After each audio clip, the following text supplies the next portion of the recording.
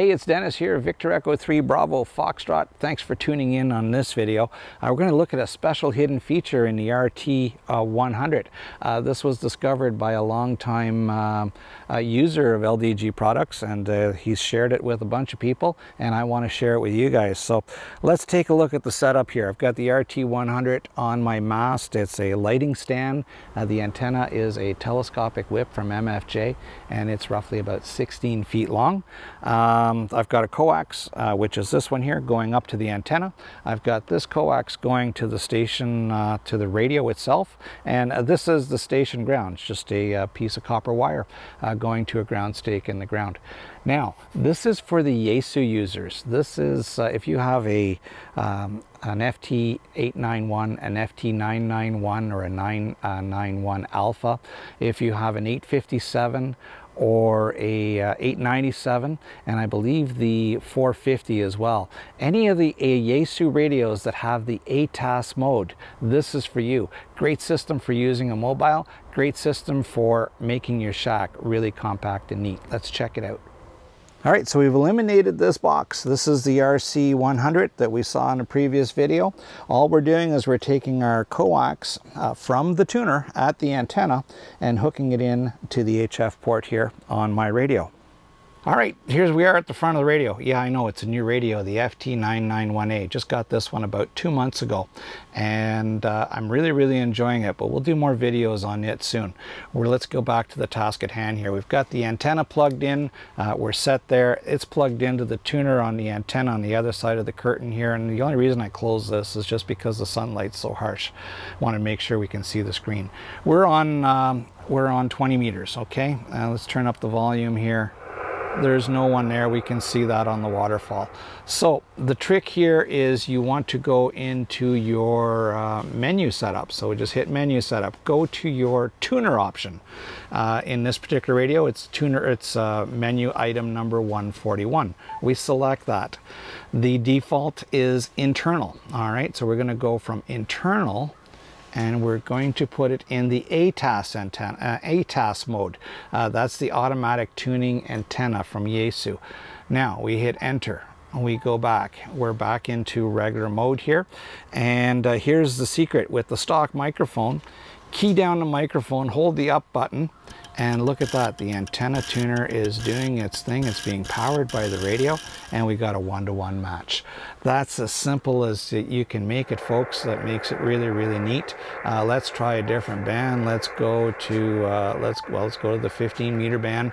And uh, again, uh, we're at the bottom of the solar cycles. The bands are so quiet, but let's give it a try here. We key down the microphone, hold the up button, and hold the up button until the unit finishes tuning. It's doing its cycle. You can see the ATAS flashing red light there on the uh, left-hand side near the top, and it's doing its thing. And um, there we go, just about through, and one-to-one -one match. Perfect. Um, let's see, can we do it uh, on the 40 meter band? This is stretching it with a 16 foot antenna, but hey, let's give it a try. What the heck? Go to the uh, 40 meter band. Again, the band is totally dead. Uh, I haven't seen, oh, there's a signal down there, but it's not going to interfere with what we're doing. Again, push the microphone, key it down, push the up button, hold it while the ATAS antenna flashes. It's going through its cycle and um, we'll go through here. It's going through its algorithms and we're just about there. We're going to find a match. I can tell. I know it's going to get lucky. And we keep going through here. We're just about there. Yeah, 1.5 to 1. Not bad on a 16 foot antenna. Let's see here. Um, we'll try and make a contact. Let's go back to the uh, 20 meter band. That's where I got the best chance. Okay, so one thing I forgot to mention. When you push down on your microphone, nobody there right at the moment, we're not going to interfere with anyone. When you push down on your microphone and you hit the up button, it starts tuning your radio. We've seen this before. What I forgot to mention is that what happens here, and we're tuned, the radio um, the controller for the ATAS turns the power down to 5 watts for the tuning cycle and then turns it back up uh, for the uh, transmit cycle, so whatever you had your radio set at. Now there is a con there is a QSO going on here. The band is totally dead. CQ, CQ, CQ, CQ20, CQ20, CQ20 meters. W4GOG, Whiskey South Oscar Golf, North Carolina, call us for N1, N1.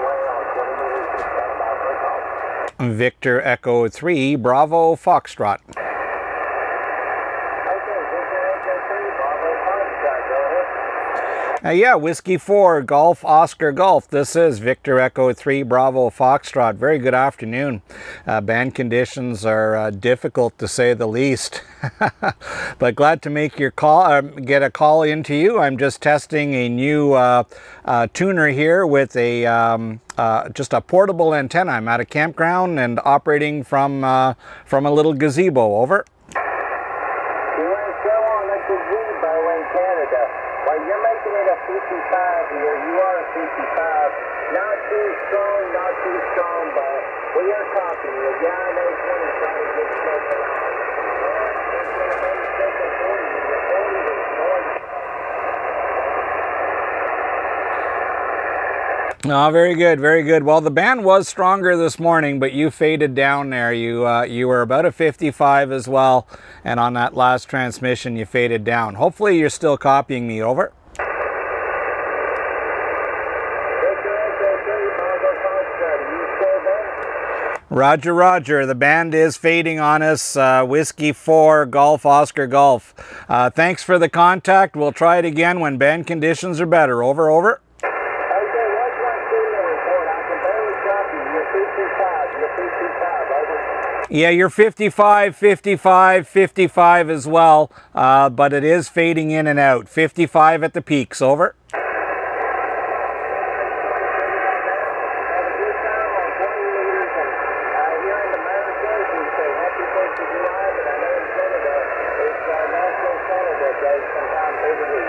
Victor Echo 3. All right, 73, and thanks for the contact, and happy 4th of July. Whiskey 4, Golf Oscar Golf, Victor Echo 3, Bravo Foxtrot, Stroke Portable, 73. Well, that was uh, difficult contact to say the least. Uh, difficult conditions today, that's for sure. Uh, the ATAS uh, settings on the Yaesu radio is a great way. You know, you get to say goodbye to the little remote control box, save yourself a couple of cables, make your setup a lot faster. Uh, very convenient if you're mobile. And when you're portable like me, you're camping and stuff, uh, you don't have to worry about that little box. A big shout out to the guys at LDG for providing the tuner for me to test. And thanks to you guys for watching. If you enjoyed the video, please give me a thumbs up. If you didn't like it, give me a thumbs down. That's okay. Uh, but do me a favor, write me a comment down below and let me know what you didn't like about the video. That way I can make it better for the next time. Um, if you have any questions, again, write me down a comment down below, or if you prefer to do it by email, my information is good on QRZ. I'm Victor Echo 3 Bravo Foxtrot, Dennis, and I'd like to thank you for watching, wish you 73, and catch you on the next one.